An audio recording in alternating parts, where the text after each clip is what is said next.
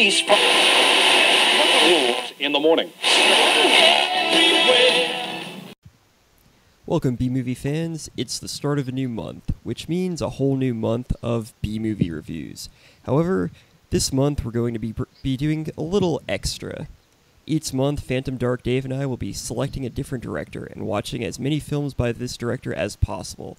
Each week, we will be discussing a different film by that director, and at the end of the month, we'll each decide which five films by that selected director that we liked the best.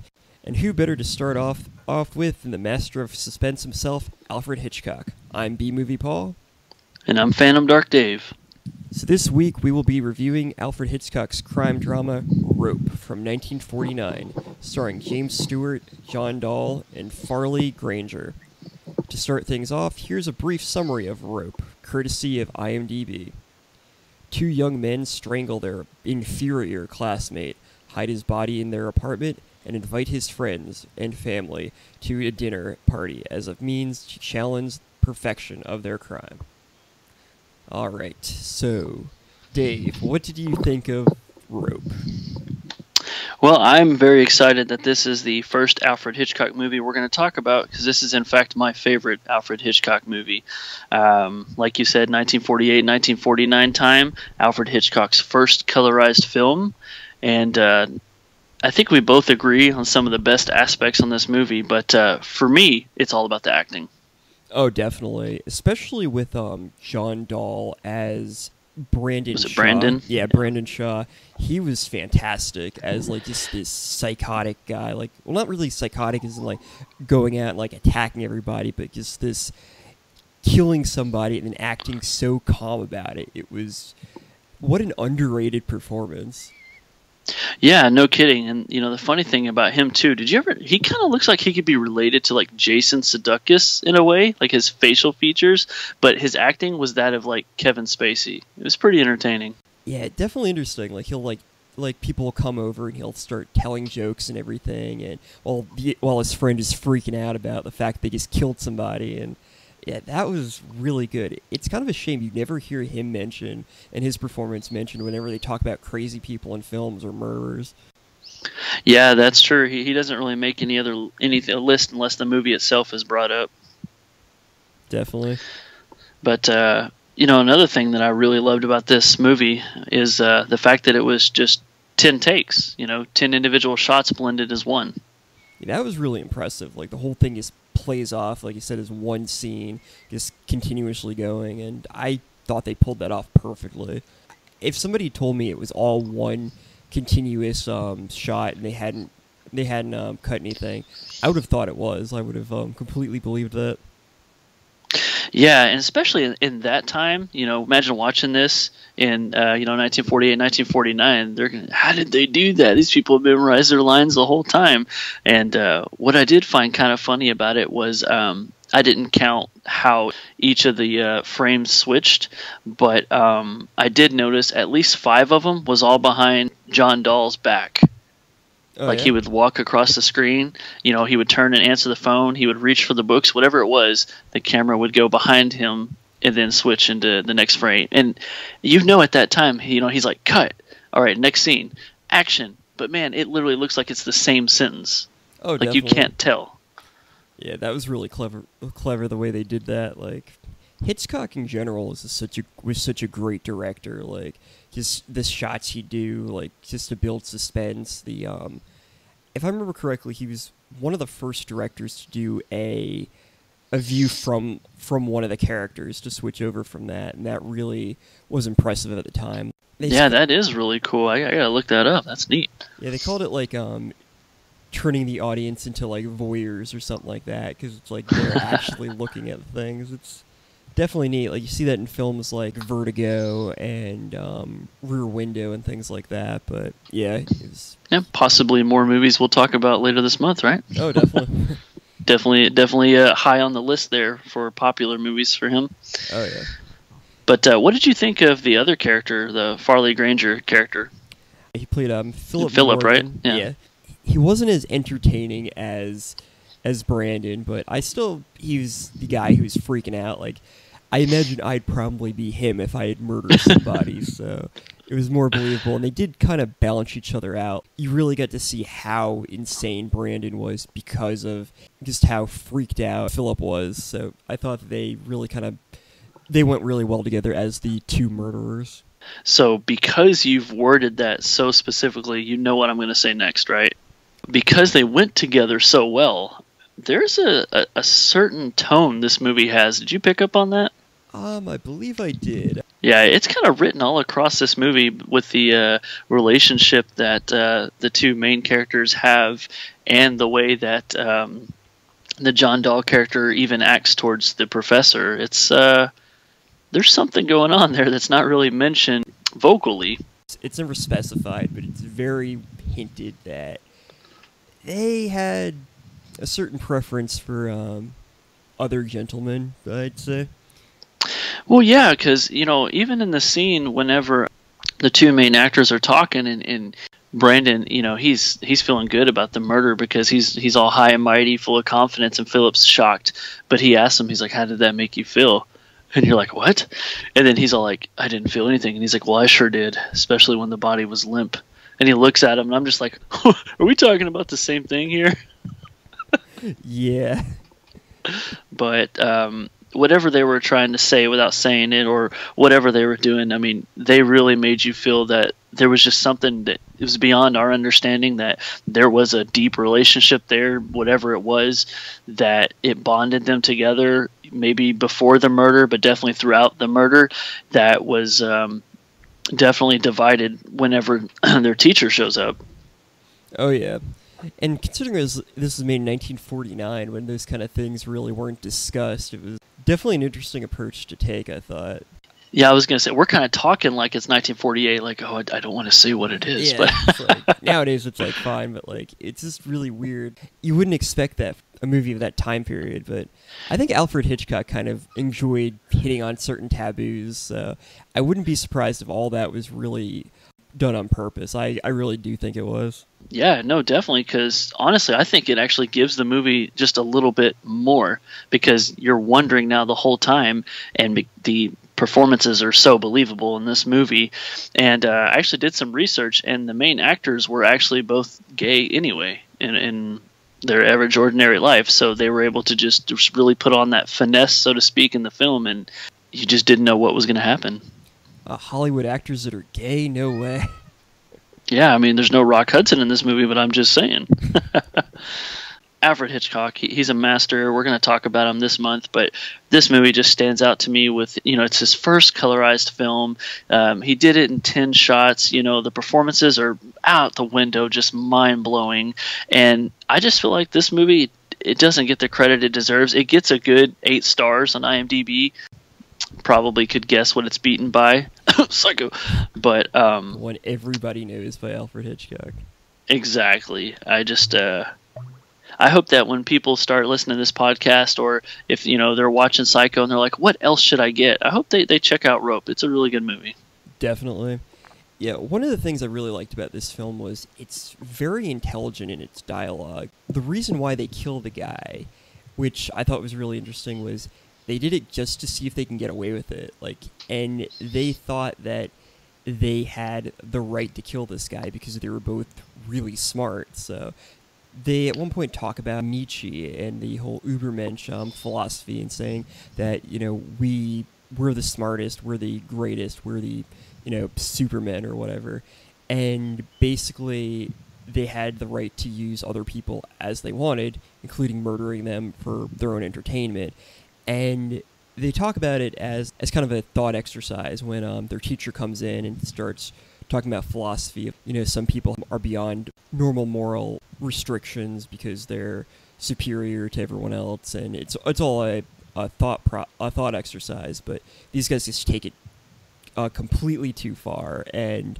just how they're talking about it, especially Brandon's character he was so good at just that psychotic i have the right to do this and you can see he thinks that way about almost everyone in the film at one point there is the guy they murdered um, his fiance's there and he invites her ex-boyfriend there and he's just messing with their relationship and he's like kind of like hinting that the guy they killed, David, is dead, but like not saying it. He's like, I know I can get away with this because I'm just so much smarter than everyone else, and it's so entertaining to watch. But it's it's really creepy because you know this guy just murdered somebody, and he's just he's playing everybody like um like they're puppets, and it's it's really it's really an interesting concept for a movie that pretty much primarily focuses around a party where people are talking. Yeah, definitely. He, he's he's really full of himself. He has a lot of mind power, and he definitely uses that on everybody else in the film, especially Philip. Poor Philip is in love with him, and it's funny that it's he's afraid of him. You can tell he, you know, he's it's a menacing figure to him, but that's probably what he finds attractive. I don't know. Um, it, yeah, he just even the way he, he talks to you know his elders and everything in this movie, he, he pretty much just you know lets them know like you said like oh we're, we're, superior we're rich we're you know we could kill you know we can end poverty you know we can you know like james stewart says in the movie because it is only a thought exercise in his mind like there'll be no more standing in line at the movie theater you know? Yeah. but um, yeah, that's another thing to talk about too. How, how about james stewart man? He was amazing. Yeah, james stewart like he's been in so many hitchcock films and he's got that way of talking that's very Stewart, but like he's his performance of this was so different from anything I've seen him in before.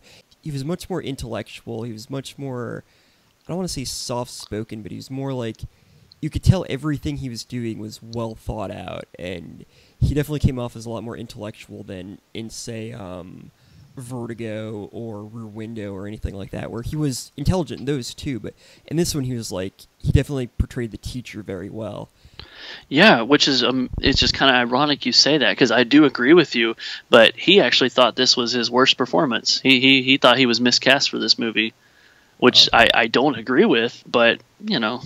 Yeah, I thought he did great, and what I thought was really interesting was the the few times that Brandon starts to freak out. It's when his teacher, uh, Rupert, who's played by James Stewart, is kind of catching on or says something that might hint that he knows something's up. You can see in um, John Dall's face just how it'll change all of a sudden, where he's like suddenly he just saw somebody murdered in front of him.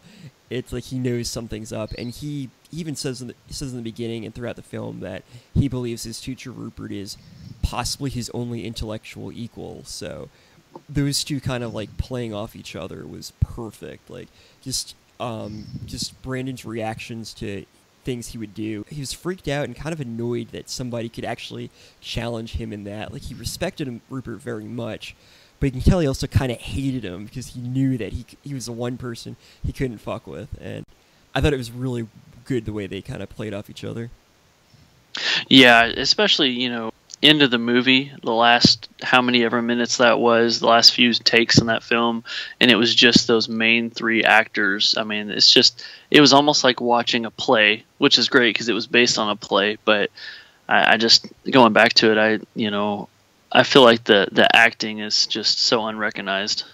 Yeah, definitely. Like it's like you said, it's amazing that this is one of Hitchcock's more well-known films because it is so well done. It's um I think it might be just because it is such a limited setting film. It basically takes place in their apartment, like almost the entire film. That's it. And but it's such a shame because it's it's done so well. Like I, it's proof that you can have a movie that has a few people and very little like setting, and if it's well done, if the dialogue's good and this and the plot's good, you can make something like that work. And this is like the perfect B movie without being an actual B movie, and it's it's very impressive. Yeah, and did you know that um, I, I, tried to double watch a certain scene? I couldn't really tell myself. Maybe you did. Alfred Hitchcock supposedly made a cameo in the opening. Did you catch it? He was supposed to be walking down the sidewalk as they kind of open up where they show the sidewalk, and then it shows, you know, the apartment window. You know, the curtains are closed. You hear the scream. Right in that few seconds that it is, he supposedly is walking down the sidewalk. I saw like three people, but I couldn't pinpoint a big guy. Yeah, I didn't. I actually didn't notice them. I actually hadn't heard of that until just now. So I'm gonna have to. Yeah, I challenge you to take another look and let me know if you noticed it. I don't know if I just, you know, it's not correct, but you know, he is known for making those kind of cameos, and I know certain films he does. I just that one I had to rewatch that part, and I just didn't catch it. If anybody who's listening to this did, please let us know. We want to know. Definitely. Yeah. One interesting thing about this was this is actually this film was actually based off a true story. There was a murder in 1924. Uh, these two college students um, from the University of Columbia. Their names were Nathan Leopold and Richard Loeb, and they kidnapped and murdered a 14-year-old boy just to just to prove that they can make the perfect crime. They'd never get caught and well judging on what happened i guess they couldn't pull that off but definitely a sad story but like it was basically the same kind of thing. They were obsessed with crime. They were both extremely intelligent. Nathan leopold guy had an iq of 210 which is just insane. And Wow. just yeah they they believed that they were smarter than everyone else. They were very big followers of uh, of um, Friedrich Nietzsche. And yeah it's, i thought that I'm glad it, this wasn't a direct following of that because it would have. I don't think it would have really worked out well, but kind of just having a story based off of it, I thought worked really well. Just because there's so many concepts in it that if they tried to make something too realistic, I think it would have been lost. Yeah, it would have been a different film entirely, and it would it probably wouldn't have worked for Hitchcock. It's not really his style, but it just goes to show you, you know, you don't need James Stewart to uh, to foil your plans. You know, it can happen anyway. So you know how I feel about this movie. Ten out of ten. It's a ten. Yeah, I'd say if I had to rate this one, I'd probably give it. I'd give it a nine out of ten, and there were a couple problems I had with it. They're very minor, but one of Okay, them. I will I will let you say the problems, and it may not hurt our friendship. Go ahead. All right, so this is just um, this is because I thought it was a weird scene, but at one point, Brandon and Philip are arguing because Phil um, Brandon's completely calm about everything. He's making jokes and he likes to kind of mess with people and get like get get reactions. You find out Philip doesn't eat chicken, and then Brandon goes, "Remember that time you choked a chicken?"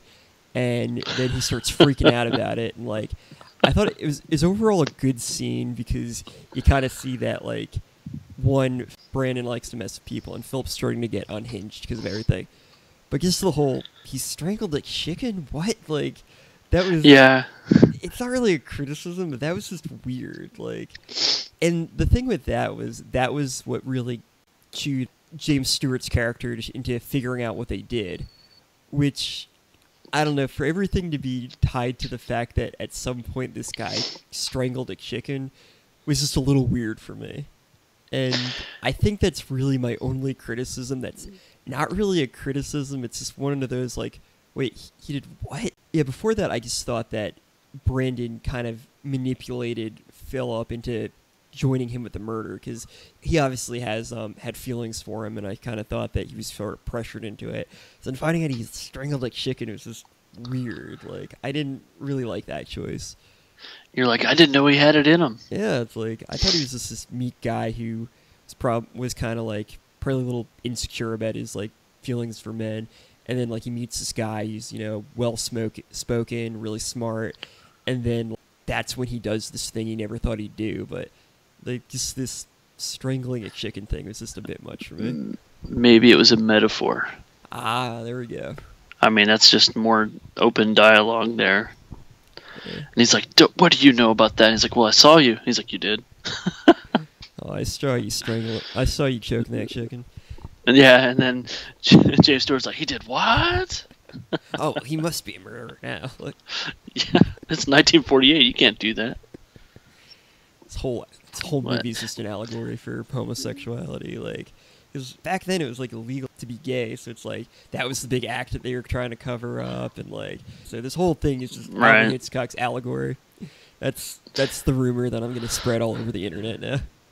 There you go. You know, another thing I really liked about the movie too, is, and it's I think it's a thing I like about um, a lot of classic movies is everybody's so well dressed. Like, you know, it's an apartment dinner party, yeah, but man, there was some good suits in there. I mean, everybody was just top notch looking and very suave. I mean, we could have had a few different James Bonds in there. I'm just saying. Oh yeah, yeah. It's kind of cool seeing things like that. Like just back when like people used to dress up for like everything, and you know I'm kind of glad because it's such a pain in the ass to do, but looked cool back in that time period. And you can definitely tell something doesn't take place now because no one does that. Like, Well, like, hurry up, Paul, get on your suit. Why? We're going to get milk. Like, this sucks. we have to go to the market now. That's right. Oh, good times. Well, I'm excited we got to do it. I think this movie is freaking awesome. If you haven't seen it, watch it. I'm not saying it's the best thing, but I'm saying it's my favorite Hitchcock. We'll find out if this this is definitely one of my favorite Hitchcock films. We'll see how far it ranks at the end of the month, but next week we will re- be reviewing another Hitchcock film. Um, hmm, not sure which one we should pick for that one, so guess it'll be a surprise for everyone next time. All right, this is B Movie Paul, Phantom Dark Dave. and we will be back with another movie next week. You know,